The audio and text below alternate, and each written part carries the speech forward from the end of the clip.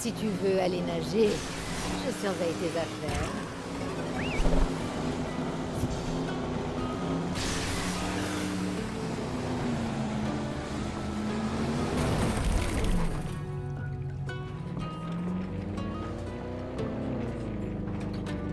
Oh, je te préviens, les larbins sont hyper dangereux, même si ce sont des seconds couteaux.